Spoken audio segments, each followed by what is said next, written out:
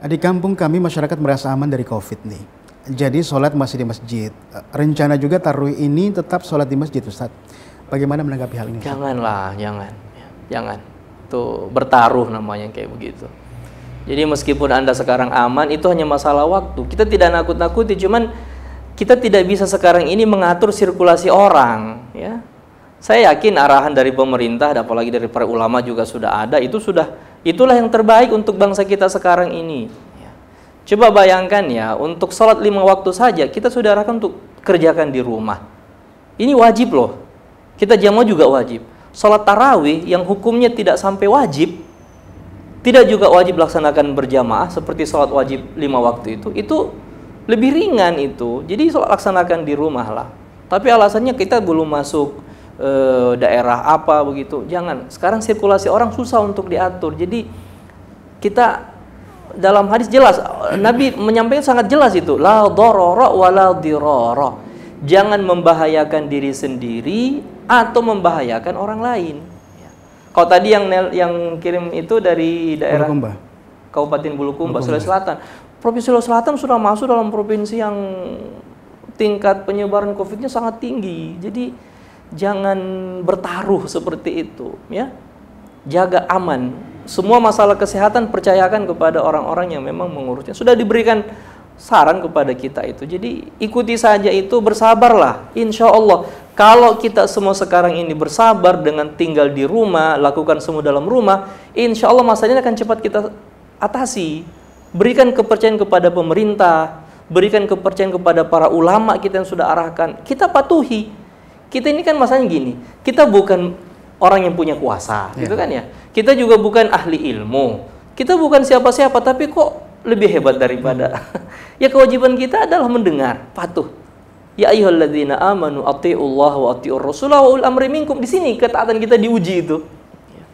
Lagi pula bukan untuk kebaikan siapa-siapa kok, untuk kebaikan kita semua.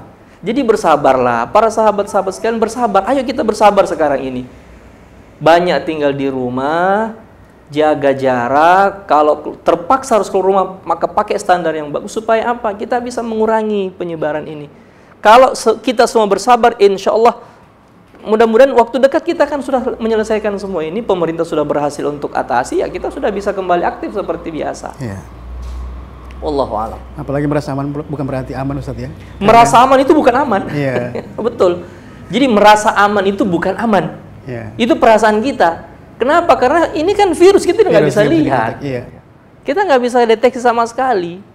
Kita nggak bisa lihat. Seandainya dia adalah fisik di depan kita, hmm. mungkin kita bisa menghindar kan. Tapi ini kan bukan. Jadi perasaan aman itu kadang-kadang juga menipu malah kita iya. juga nggak paham.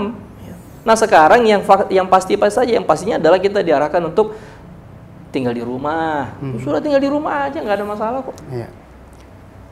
Dengan status baru yang OTG juga sudah muncul ini Ustaz. Apalagi ya, iya. apalagi ini ini lebih mengkhawatirkan meskipun dari um, ya harus seimbang. Intinya saya hanya berharap kita bersabar. Ayo dong bersabarlah. Iya.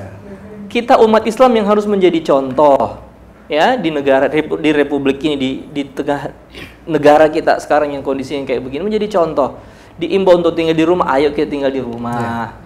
Untuk siapa untuk kebaikan kita bersama bukan untuk kebaikan siapa-siapa untuk kebaikan kita bersama semakin kita bisa mengisolasi diri kita di dalam rumah kita mengurangi penyebaran dan bisa memutus ini penyebaran ya. uh, wabah yang sekarang ada tapi Pak Ustadz kita akan rindu sholat insya Allah kan kembali sholat ke masjid itu ada contohnya nggak? Banyak contohnya daripada dari zaman dulu udah banyak. Ya.